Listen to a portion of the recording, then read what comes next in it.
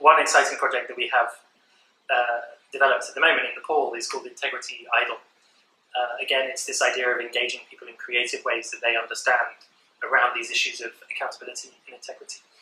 And so we're receiving nominations from all over the country for honest bureaucrats and civil servants. Anyone can nominate someone that they've interacted with at a government office. Um, we have a panel of experts who will decide on the top six, and then those six uh, we're going to film at their jobs, um, talking about why it's important to be a person of integrity and accountability and, and how they do it. Um, and then uh, people will vote when we show these these episodes on national TV through SMS and Facebook for their integrity idol. The idea, of course, is to highlight the good people within the system um, and try and create uh, the perception that, that bureaucrats and civil servants can be um, can be honest, can serve citizens in the way that they are uh, supposed to, um, and then try and expand that, that zone of of the kind of behaviours that, that we'd like to see, um, and uh, and build on that from from there. Um, the other thing we're trying to do at the Accountability Lab is redefine what an organisation in this space can be and the way that it operates, um, as well as in terms of the actual projects that we're carrying out. So we live by our principles very much. For example, we publish all of our expenses online in real time.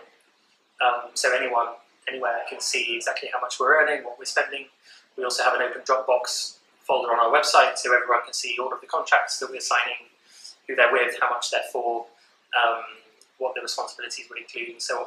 So for us, there's no confusion about where um, the lines lie, uh, but for other people, they can see that we're really about transparency and accountability.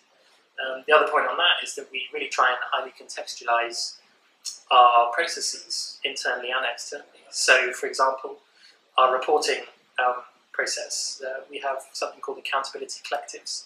So every month we invite all of our partners that we work with to an oral reporting session um, where they can report to us and the rest of the group on what they've done and the progress they've made. We write that down, which serves as our written report, so we're accountable. Um, but then they can share ideas with the rest of the group, see where synergies lie, brainstorm on collaborations. And we find this is much more interesting, useful, and fun for everyone, uh, and certainly a lot easier for our partners in these countries who can't always read and write English um, particularly well, uh, than asking them to fill in long matrices or log frames, which is the kind of thing um, that, that, tends to happen with a lot of organizations. So in that kind of way, we're, we're trying to redefine what it is that we're doing and how we're doing it.